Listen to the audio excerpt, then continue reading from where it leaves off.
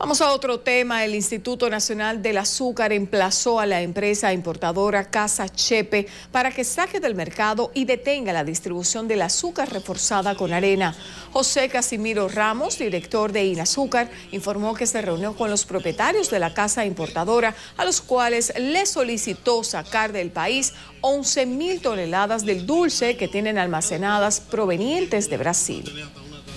A que retire, que reembarque de manera inmediata ese eh, producto no apto para el consumo humano, en razón de que se ha, verificado ya eh, la contaminación de, material no soluble.